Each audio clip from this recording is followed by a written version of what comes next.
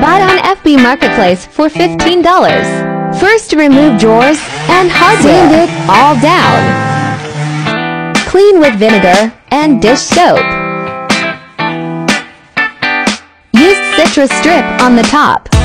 Covered with plastic wrap for about 4 Keep hours. Keep sanding until it's down to its natural wood.